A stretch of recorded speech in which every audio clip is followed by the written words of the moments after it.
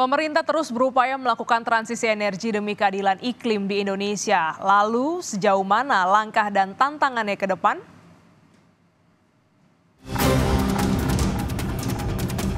Badan Iklim Intergovernmental Panel on Climate Change IPCC memaparkan pemanasan bumi dimulai sejak revolusi industri, di mana bahan bakar fosil melepas karbon dioksida yang terperangkap sebagai energi ekstra di atmosfer.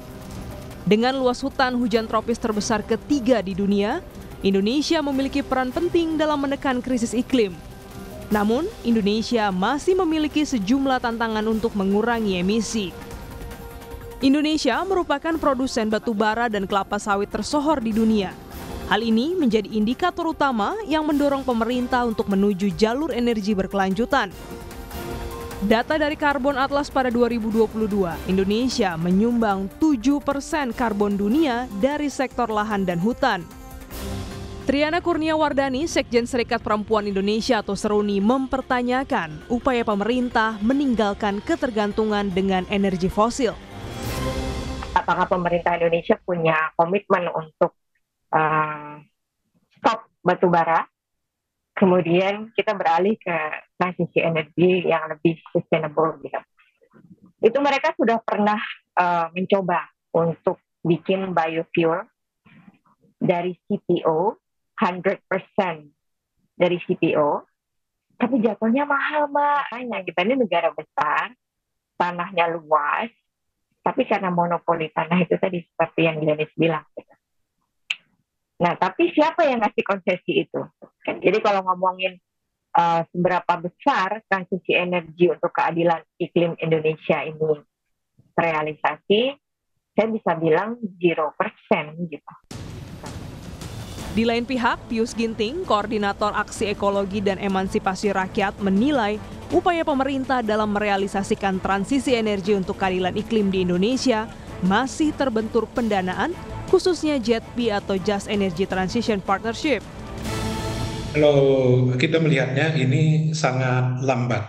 Jadi eh, perencanaan di Just Energy Transition program yang dikeluarkan oleh Sekretariat JNP dibutuhkan pendanaan sebesar 20 billion US dollar, tetapi progresnya masih sangat kecil uh, sampai sekarang dan juga uh, dana kita harapkan pendanaan dana JNP ini tidak ke, ke depan memberatkan uh, keuangan dari uh, bangsa Indonesia dan belum semua negara yang tergabung di dalam pendana JNP ini mengalokasikan grant.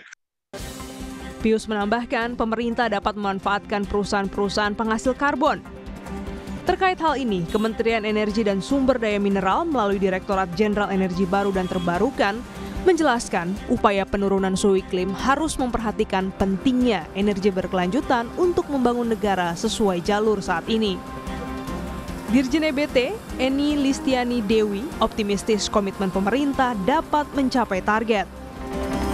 Kita harus persiapan dari sekarang, ini hanya lima tahun ya, hanya lima tahun, dan dari situ apa yang perlu kita lakukan, ini harusnya sudah sudah seperti kekuatan besar karena lima tahun itu waktu yang pendek untuk mengerem mengerem eksploitasi emisi yang memang sudah naik begini tapi nanti 2030 diinginkan turun.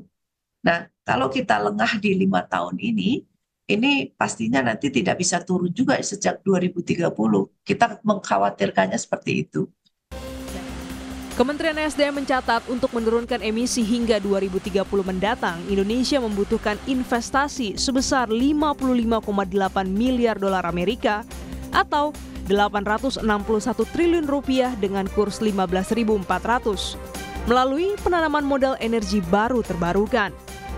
Indonesia berkomitmen hingga 2060, salah satunya dengan penerapan regulasi carbon capture Pembangunan energi baru terbarukan melalui sumber surya dan hidrogen yang memiliki zero emission. Kepala Pusat Riset Konservasi dan Konservasi Energi BRIN, Tata Sutardi menjelaskan, pemerintah telah menunjukkan komitmennya dalam sejumlah sektor.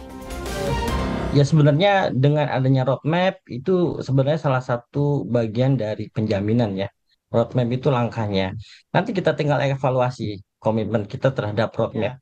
Dan uh, saya lihat di beberapa uh, instansi ya, uh, untuk contoh dari yang lima saya sebut tadi, penggunaan mobil listrik itu sudah mulai tuh dibudayakan misalnya pada uh, instansi pemerintah atau uh, BUMN yang itu merupakan salah satu ekspresi dari uh, komitmen gitu ya seperti itu belum yang lain ya nanti uh, uh, transportasi kita lihat juga sekarang transportasi massal juga salah satunya ya karena transportasi uh, masifnya transportasi individu ya tentu itu akan juga mendorong apa namanya uh, bertumbuhnya CO2 ya emisi CO2 gitu Perjuangan melawan krisis iklim haruslah sejalan dalam menciptakan keadilan, karena masyarakat terdampak paling parah. Sementara itu, upaya transisi energi bersih masih menghadapi banyak tantangan. Indonesia terus berlomba dengan waktu turunkan emisi. Koordinasi pendanaan hingga regulasi harus jadi solusi. Jangan lagi bersantai dan negara terus merugi. Iklim tahun depan ditentukan dari kebijakan hari ini. Glenny Soktania, Kompas TV, Jakarta.